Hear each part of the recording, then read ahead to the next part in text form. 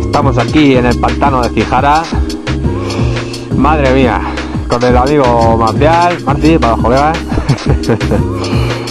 y nada, como Dios nos trajo al mundo, estamos a una temperatura cojonuda. Cero grados. Esto tiene una pinta que vamos a sacar en dos cifras aquí, pero ya. Vamos a ello.